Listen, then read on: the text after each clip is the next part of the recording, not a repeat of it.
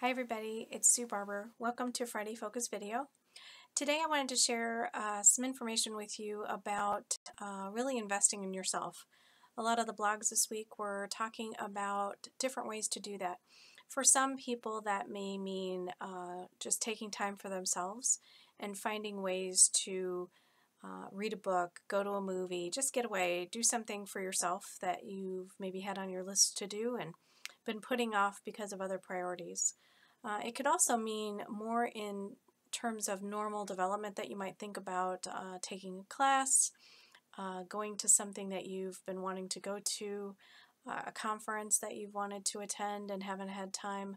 Just taking that time to be able to put yourself as a priority and making sure that you're developing yourself just as much as you're developing your team.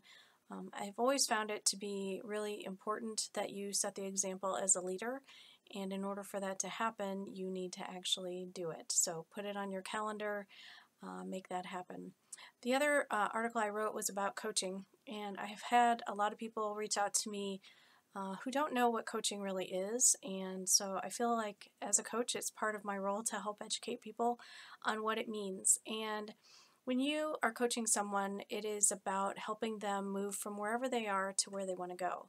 And that may mean that they have a goal for work. It may mean that they want to just have some personal development for themselves. Whatever their goals are, whatever they want to work on, is really where you're there to help them.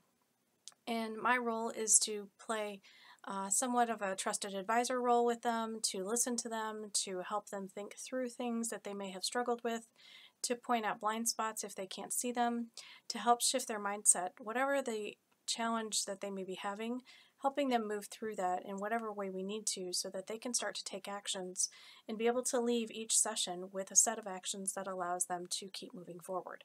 And that's what coaching is really all about is being able to do that for people and, and I feel it's a great honor for me to be able to be a coach and to help people see themselves start to change and transform. It's a really cool experience that uh, I wouldn't trade for the world.